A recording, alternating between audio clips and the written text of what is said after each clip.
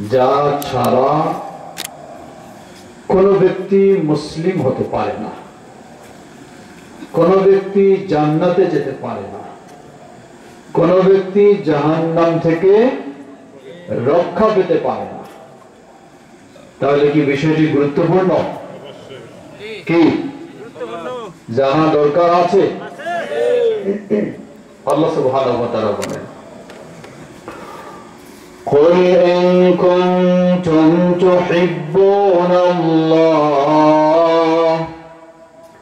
فاتبعوني يحببكم الله ويغفر لكم ذنوبكم والله غفور رحيم سورة آل عمران 31 নম্বর আয়াত, আল্লাহ তাআলা বলেন, হে নবী, তোমার উম্মতকে বলে দাও আল্লাহ, যদি তোমরা আল্লাহকে ভালোবাসতে চাও, তাহলে ফরিদপুরে যাও। হ্যাঁ?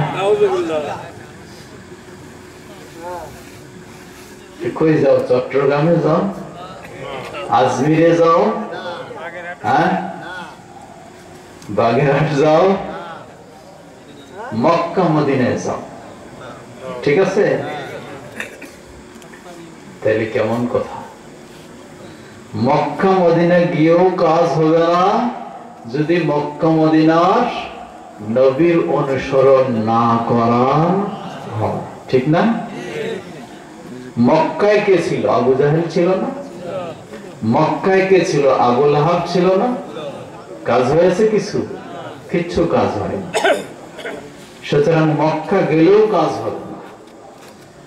কোন মানুষ যদি মক্কায় গিয়েও বলে, আমি এসেছি রাসুলের দেশে, কিন্তু আমি আমার পীর বাবা ছাড়া আর কাউকে বুঝি না, মানি না। ওই ব্যক্তি কেমন পর্যন্ত মক্কায় থাকলেও তার কোনো কাজ হবে